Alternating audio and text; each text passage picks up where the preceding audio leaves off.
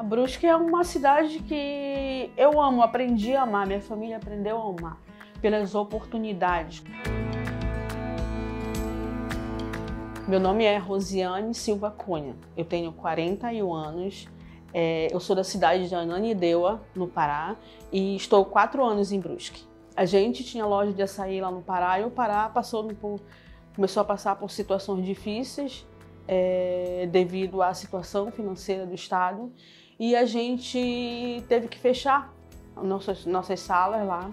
E um dia foi um rapaz aqui de Brusque, ele era caminhoneiro, ele foi fazer entregas e ele fez um pedido para gente de açaí.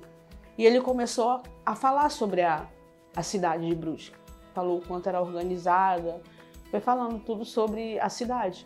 E eu tive a curiosidade de conhecer. E eu falei para meu esposo, eu vou conhecer essa cidade. A gente pesquisou sobre a cidade, né? E o meu esposo na época disse: Eu vou procurar alguém que more lá. Será que tem alguém conhecido que more lá? Então a mãe dele, a vizinha da mãe dele, mora aqui.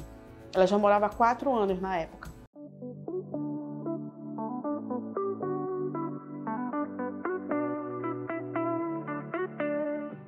Então ele entrou em contato com ela e ela falou: "Pode vir, diga para ela vir". E eu vim para cá. Quando eu cheguei aqui, é, que eu coloquei o pé na cidade, me apaixonei logo de primeira. Olhei assim, observei e me apaixonei logo de primeira. Com 15 dias eu comecei a trabalhar. Eu vim primeiro, com 15 dias eu comecei a trabalhar e a minha família ficou lá, meu marido meus filhos.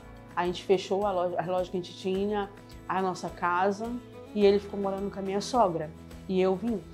Passei quatro meses aqui sozinha, comecei a me organizar e depois de quatro meses eles vieram para cá, para Brusque. E não só eu, como eles se apaixonaram pela cidade. Eu sempre falo que Brusque é a cidade das oportunidades, né? Então a gente encontrou a oportunidade, muitos paraenses que vêm para cá encontram oportunidades de trabalho de recomeçar a vida.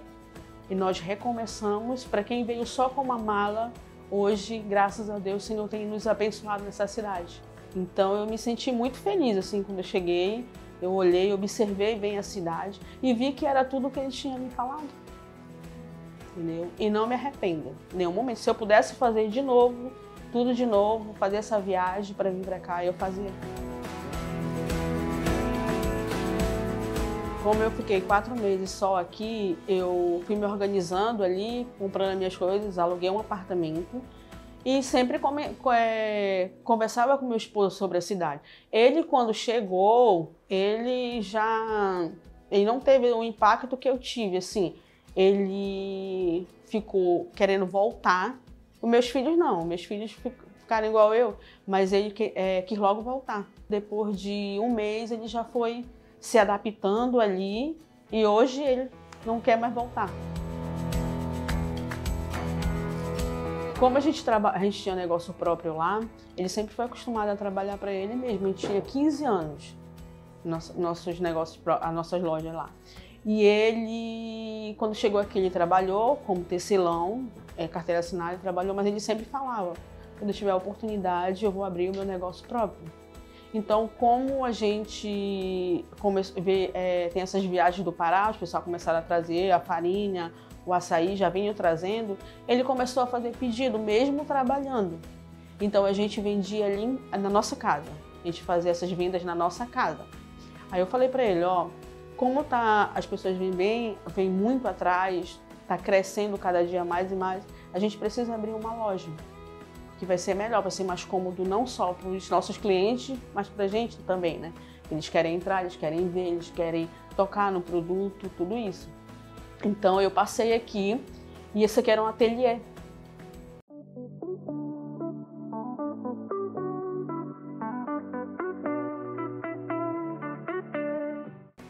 E a, a senhora daqui, ela que é responsável pelo, pelo prédio, e eu falei com ela. Durante uma semana que eu falei com ela, o rapaz entregou. E a gente entrou, começou a organizar. A gente começou só com o freezer, entendeu? Só com freezer e a vontade de trouxe as coisinhas de lá e agora tá, a gente faz entrega, a gente tem o Instagram daqui, então o Senhor só tem abençoado cada dia mais e mais. Lá no Pará é todo muitos temperos, tipo de pimenta, entendeu? A nossa culinária é muito mais forte assim, sabe? Muito mais apimentada, como diz a história. Mas foi a dificuldade foi essa, porque assim, é, amizades, ciclos de amizades. Graças a Deus eu tenho grandes amigos aqui, entendeu? Pessoas que acolheram a gente.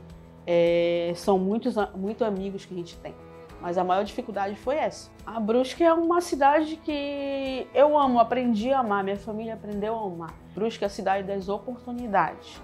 A gente foi bem acolhido aqui, muito bem acolhido. Tudo que eu precisei aqui nesse lugar, Deus ele supriu nossas necessidades. Quando eu cheguei aqui, eu lembro que como era inverno, é, eu não trouxe, gente, não. O inverno do Pará é totalmente diferente daqui. Então, eu fui na igreja católica, eles me ajudaram ali com roupas, eu nunca vou esquecer. Eles me ajudaram com cestas básicas, me ajudaram a minha família até o momento que meu esposo chegou, tudinho me ajudaram, ajudaram quando ele chegou. E quando a gente se alicerçou ali, que ele começou a trabalhar, foi uma grande ajuda. E hoje a gente retribui. Como a gente retribui? É ajudando também. Nós fomos ajudados e hoje a gente ajuda também eles. Então é uma cidade assim que acolheu, que ajuda as pessoas que vêm de fora. Então é uma cidade que eu sempre falo, mora no meu coração, amo essa cidade, respeito muito. E se um dia a gente for embora daqui, é uma cidade que vai morar no meu coração para sempre.